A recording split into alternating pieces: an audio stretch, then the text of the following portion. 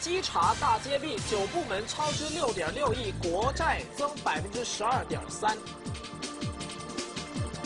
新州二零一零年总稽查司报告，管理虽提升，弊端仍存在。一千九百四十令吉买望远镜，五万六千三百五十令吉买。南阳四十二承包计划出事，政府五年被诉二十三亿。中国报表现有改善，舞弊仍发生。望远镜一千九百四十令吉变五万六千，三十二寸电视两千一百八十二令吉变一万六千。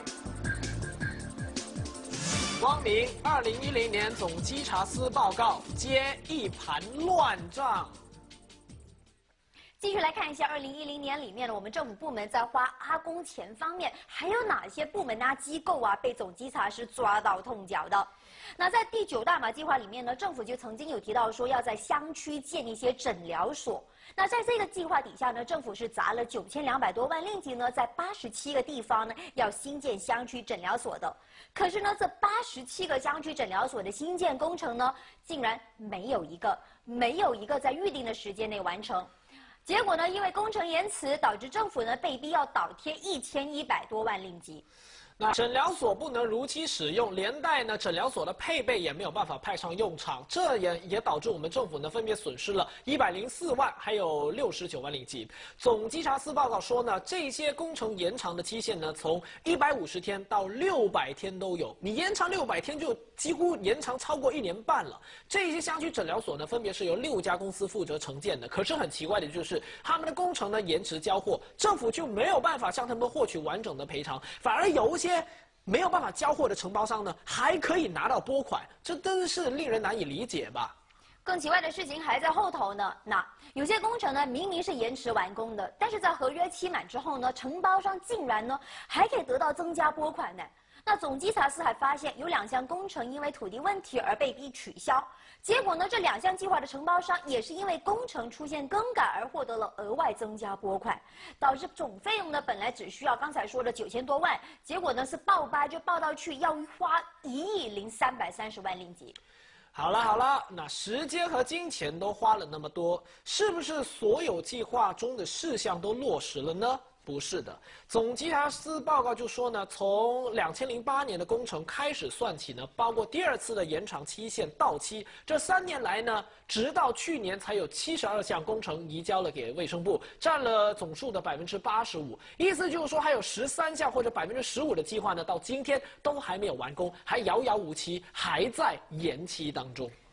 嗯，好，我们再来看另外一个部分哦。这份新鲜出炉的二零一零年总稽查司报告还揭发了政府，呃，在买马参加比赛方面的一些糗事。那为了要参加我们国家自己主办的两千零八年世界耐力锦标赛，我们的国家体育理事会呢，在没有通过财政部批准的情况之下呢，非常豪气的花了五百六十六万令吉买了二十三匹呃马。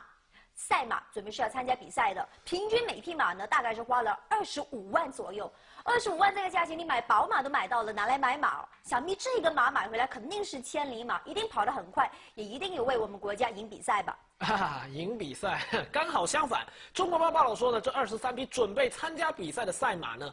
二十三匹你买回来有十八匹马是不符合国际马术联合会定下的参赛标准，就你买来根本都不能比赛，因为不符合标准，直接被 out 掉了。剩下那五匹，哎呀，终于了，这五匹可以上场比赛了。可是这五匹马最后还是没有办法交出成绩。为什么这五匹能够参加比赛没有好成绩呢？因为当局在比赛之前的两个月才把它们买下来，训练时间不够。结果好几匹马开赛之前就已经受伤，后来这一匹赛马呢，在两千零八年的世界耐力锦标赛之后呢，就已经立刻移交给另外一些政府部门和非政府机构去了。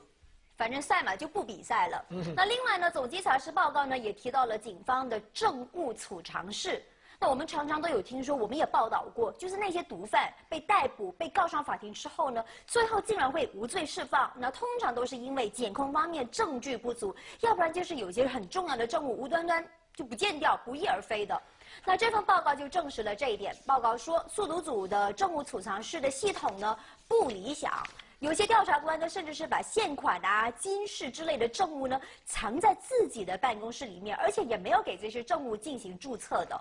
至于重要的政务常常不翼而飞呢，其实这不是奇怪的事情，因为总稽查司报告他们也发现呢，一些政务的呃这个储藏室里面呢是没有安装铁门、没有篱笆、没有闭路电视、没有警报系统、没有灭火器，甚至连灯也不开，有些还夸张到根本就没有人在那边看守那个政务室的。